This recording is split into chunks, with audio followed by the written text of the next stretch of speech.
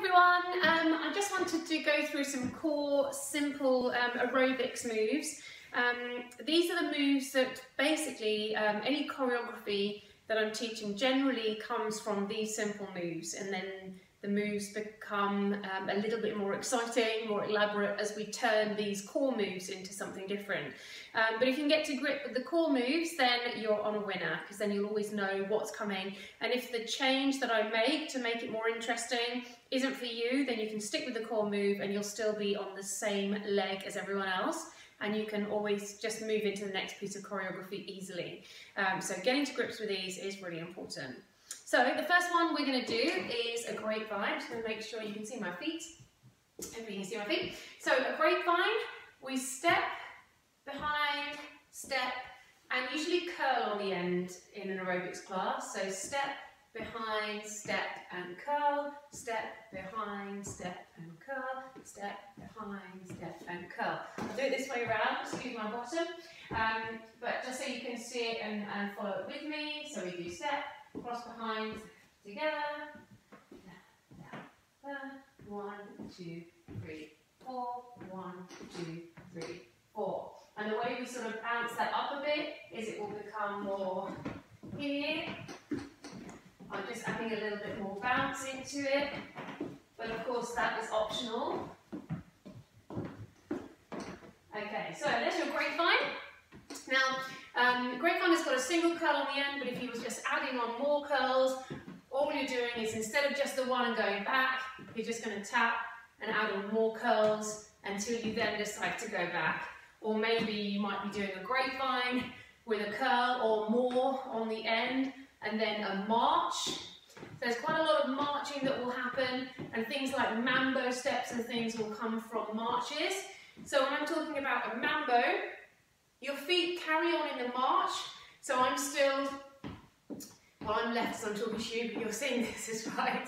So I'm marching, but if I want to put in a mambo, all I do is keep the march, but I'm just taking one foot forward and back. So mambo, mambo, mambo. That's a mambo in front, okay? But I can mambo behind, mambo behind, mambo behind, mambo behind, mambo behind. Okay, if I do that this way around, so mambo in front, usually it's coming across, mambo, mambo, mambo, and the one behind is mambo here, behind, behind, behind. Okay? So, that's a mambos. Um, also, you're going to be doing quite a lot of box steps. Okay, actually, sorry, just very quickly. On the mambos, we did a, a forward mambo then, we did a, um, a mambo behind. You can also do a side mambo. So side and side and side and side. And this is the sort of thing that you can travel forward and back. So I'm coming to you, or I can take it back. Da -da, da the same with the mambo forward and back. So I can travel a forward mambo, forward, yeah, or I can travel it back. That one is actually nicer going back. And the mambo behind, I can travel forward, which is nicer coming forward with that one. But I can take a mambo behind back as well. I'm just putting a little bit of movement forward and back. Um, so our box step, box step is here. So we're coming out sort of as a V shape and back in at the back, okay? So out at the front, in at the back. So one, two, three, four. There is your basic box step. Now that is a box step forward, but I can also take my box step back. So forward and back. You might just be doing a box step back. I do that the other way around with you. So a box step forward and a box step back and you can do one of each. So box forward and box back and box forward and box back.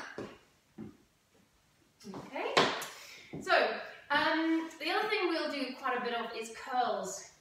So single curls, we obviously had curls on the end of our grapevine just now.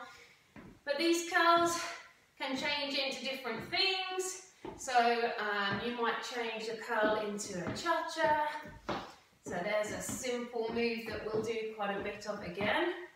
If I slow that down, I'm going one, two, three, one, two, three, one, two, three, one, two, three.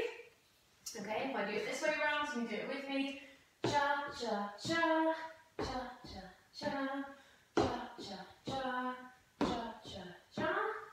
And a cha-cha will often come in a mambo, okay? So you might do cha-cha, mambo behind, cha-cha, mambo behind, cha-cha, and mambo, cha-cha, and mambo. Okay? Or it may just be cha-cha. Now a cha-cha is a great move to move forward and back as well. If I do it this way around with you, so cha-cha's forward, yeah, and cha-cha's back.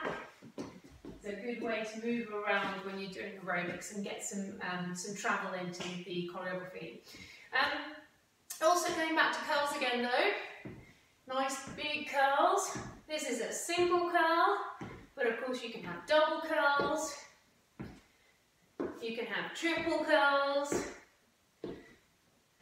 quadruple curls, and so it goes on. And then it will turn into something. But a double curl can often be turned into a double knee over. Yeah? So we've gone from double curl, double curl, to knee over, knee over. Yeah? Or the double curl may go behind instead and it comes back here. Yeah? Knee and back, knee and back. Yeah? But all that is is a double curl that's just been changed a little. Okay? So those really are your main core moves. You know, lots of things will happen from marches that become something else. Um, but yeah, we've done curls, knees as well, step knee. Sorry, that was the one that I knew. I knew there was something missing. Step knee is another one that is quite common because again, that can be a repeater. So we can do a few on each side and then that can become something more interesting. Yeah, it's got sort of scalability. But if I just show you that sideways on, I'm leaning into the move, my knee comes up nice and high, and it's quite a step back. Three, two, one. If we do some together, three, two, one, and three, two, one. Okay, well I'm going to leave it there for today. I hope that's been helpful. Um, any questions or any comments, then just add comments under the video and I'll be back to you as soon as I can. So well done everyone, bye!